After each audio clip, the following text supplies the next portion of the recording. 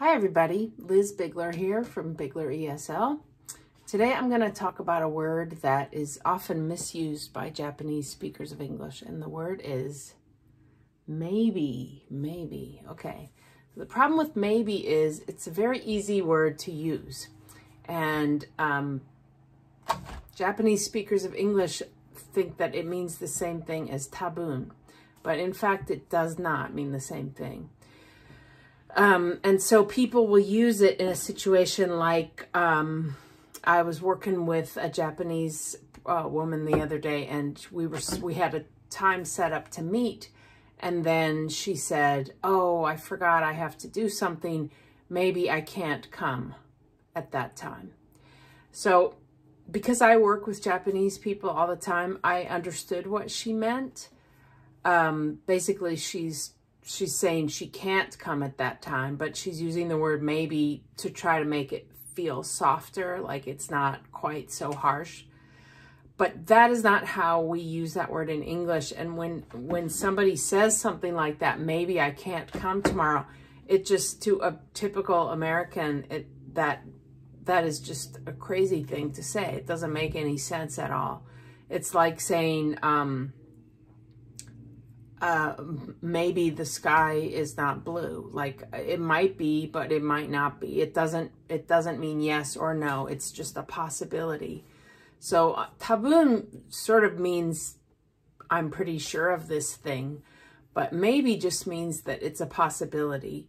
You know, if I don't, if my husband is looking for his keys and I don't know where they are, I say, oh, I don't know, maybe they're in the car. Maybe they're in your pocket. Maybe they're like, I don't know. I'm just giving uh, possibilities that might be true.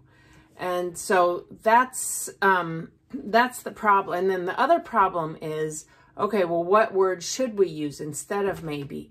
And that depends on the situation. So that's what makes it hard. So for example, in the case of my, my friend who couldn't come at that time, um, she should say something like, I I'm I'm sorry, but I'm not going to be able to make it or, you know, I forgot that I can't make it or you know, in that case it's not even probably. It's she's she's telling us that she can't come. Um, another example was I had a, a teacher who worked for me who gave a, a sample lesson to a child as as part of an arrangement we had worked out. We were going to see if the child enjoyed the lesson enough to keep doing it. So afterwards, um, I wrote the mother and said, well, you know, did he enjoy it? This was a Japanese family. And she wrote back and said, maybe he enjoyed it. And when I sent it to the, when I sent that response to the teacher who was American, she said, what does that mean? Maybe he enjoyed it. Of course, maybe he enjoyed it, but did he or not? Now, in that case, what the mother could have said was, he seemed to enjoy it, or I think he enjoyed it. So in that case, um, it would be said differently. Um, and then there's probably, so like if the weather forecast says rain tomorrow, I wouldn't say maybe it's going to rain tomorrow. If I'm pretty sure that it is, I might say it's probably going to rain tomorrow or we're probably going to have to cancel the picnic for tomorrow. So probably, or I think, or even just um, saying the, the truth. So I know that it's it, it's so convenient and easy to use this word, but it doesn't mean what a lot of Japanese people think it means. And it, it's very confusing for Americans because they recognize it as English, but it doesn't make sense to say, um, you know, maybe he enjoyed it or maybe I can't come, especially when it's negative. Maybe I can't come. it's just like, okay, what does that mean? We just don't understand what it means. Um, but if you say something like, you know, maybe I can come tomorrow, that means it's possible, but you don't know yet.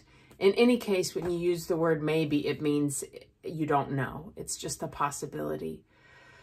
Okay, so I hope that this helps. If you are interested in learning more about how Americans speak English and, and how Japanese people sometimes are misunderstood, I hope you'll join me for, um, we have private lessons, we have group lessons, We have a couple of free lessons through the Japan America Society. Um, today is May 12th, 2020. So if you get this, if you hear this before the end of May, that you might still be able to catch one of those free classes that I'll be teaching. But otherwise, let me know if you'd like to have private lessons or group lessons. I would love to help you. Take care and stay safe. Bye.